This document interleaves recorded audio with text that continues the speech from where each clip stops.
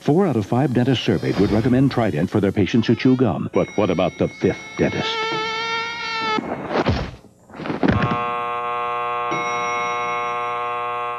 Now a new tropical twist.